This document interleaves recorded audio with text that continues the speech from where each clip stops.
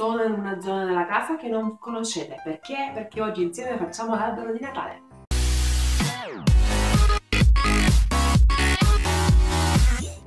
Benvenuti e bentornati sul mio canale. Insieme oggi decoriamo l'albero e vi dico già che vedete delle persone che non conoscete, tipo mia sorella e i miei genitori che passeranno ogni tanto e anche una piccola aiutante che col suo muso ci darà una mano e però appunto mia, il mio albero di Natale viene fatto in una zona della casa di passaggio quindi vedete un po' di via vai però anche questo appunto fa uh, la realtà delle cose io spero che questo video vi piaccia, che anche se è un po' diverso dal solito. Se così fatemelo sapere con un mi piace, così magari vi faccio anche qualche altro video diverso, non solo le creazioni che realizzo sempre.